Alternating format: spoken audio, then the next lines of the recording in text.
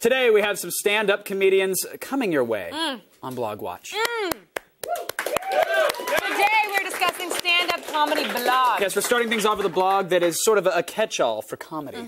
That's right. The site called deadfrog.com is run by Todd Jackson, who says he started the blog as a means to raise the bar and how people talk about comedy. Todd hopes that with some insight, readers will be able to broaden the spectrum of their sense of humor. Oh, that's a nice way of saying it.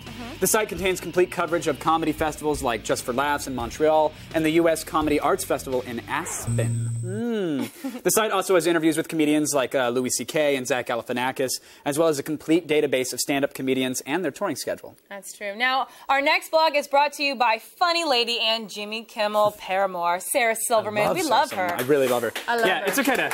Yeah. I can't physically clap, but if You I can- could, can like no, it hurts. Feel it. hurts. Like uh. Sarah's site gives you daily posts on what is going on in the She's actress so awesome. slash comedian's life.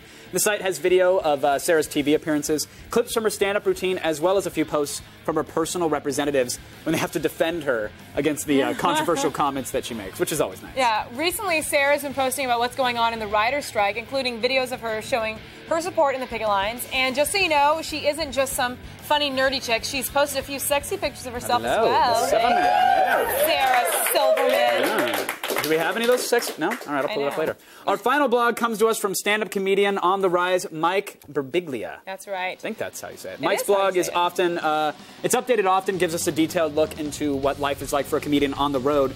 It's called My Secret Pub- Public Journal, and it features topics ranging from why he painted his van to match the A-Team van, uh, to why he would make a terrible rapper, and tips for aspiring comedians on how to actually survive in the business. My Secret Public Journal is also the name of Mike's latest CD, which has been receiving excellent mm, reviews. Mike combines Seinfeld like observations with the casual delivery as seen in this clip. I'll listen to the radio for hours when I'm driving. I'll even listen to Christian rock by mistake. Because it always starts off as like a Bon Jovi ballad, you know? It'll be like, I woke up in the morning and I got myself some oatmeal and I put some raisins on it and Christ is God. Christ is God.